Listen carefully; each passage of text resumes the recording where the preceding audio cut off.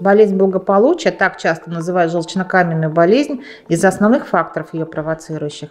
Поговорим об этом, а также о диагностике и лечении с врачом-хирургом, заведующим хирургическим отделением ВСМ клиника на улице Ярославская Александром Анатольевичем Симаковым. Здравствуйте. Александр Анатольевич, почему в желчном пузыре образуются камни?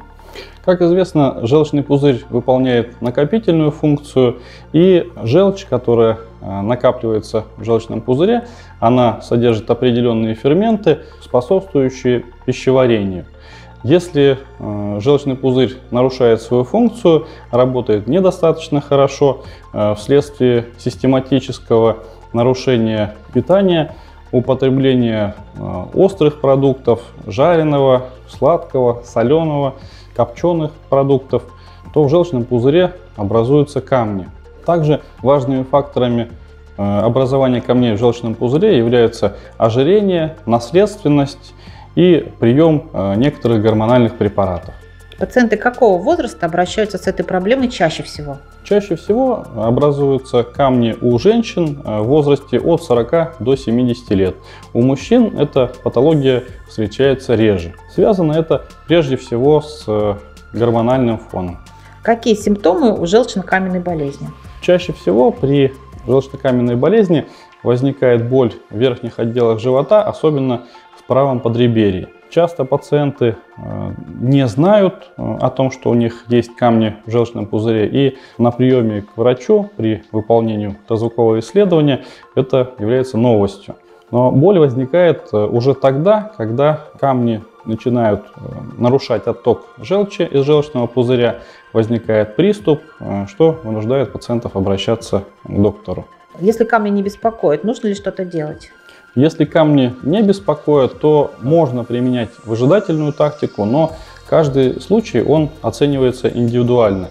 Все зависит от э, размера камней, размера желчного пузыря, количества камней в желчном пузыре. Симптоматика может быть э, минимальной. Э, камни не всегда вызывают острые приступы. Часто проявление заболевания начинается с тяжести в верхних отделах живота, вздутия живота – при небольшой погрешности в питании. Это может быть таким начальным проявлением наличия камней в желчном пузыре. Можно ли удалить камни, а желчный пузырь оставить? На настоящее время удаление желчного пузыря не приводит к каким-то э, глобальным изменениям в организме. Организм полностью адаптируется к отсутствию желчного пузыря в послеоперационном периоде. Хирургическая тактика заключается в удалении желчного пузыря вместе с камнями. Сколько времени займет операция и как быстро можно будет вернуться домой?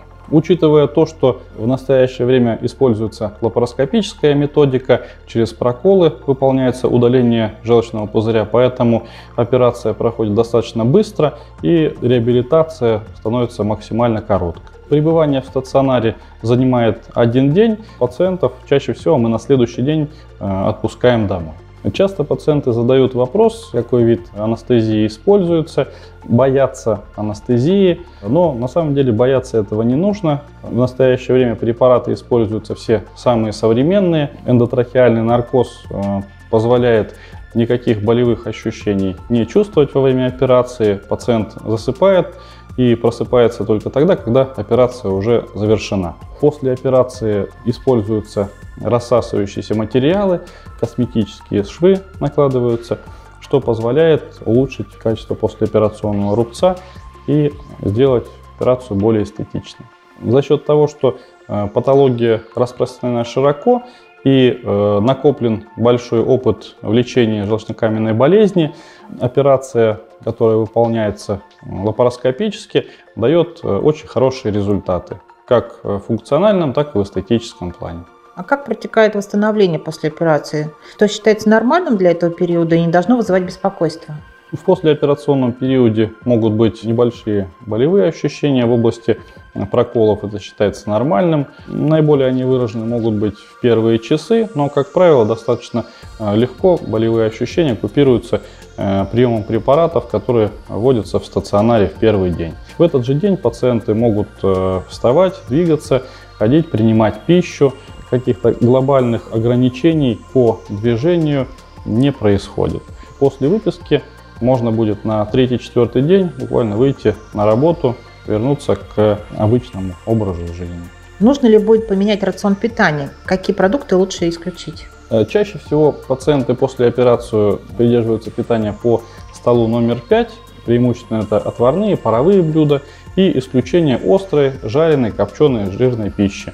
Через 3-4 недели можно будет вернуться к обычному рациону питания. Спасибо большое, Александр Анатольевич. Спасибо, будьте здоровы.